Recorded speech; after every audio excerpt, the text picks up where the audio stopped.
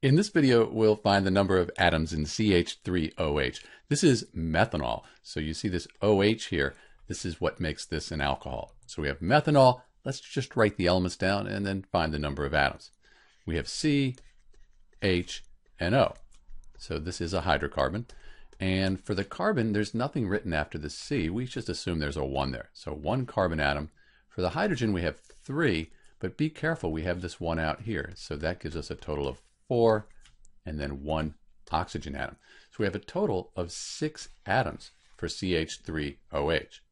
If you were asked to find the number of atoms of, say, carbon in one mole of methanol, you would just multiply that 1 times Avogadro's number. Same for the oxygen, you just multiply it by Avogadro's number. For the hydrogen, you would multiply it by 4. So you have 4 total hydrogen atoms so for one mole, you'll multiply that 4 times Avogadro's number. That'll tell you the number of hydrogen atoms in CH3OH.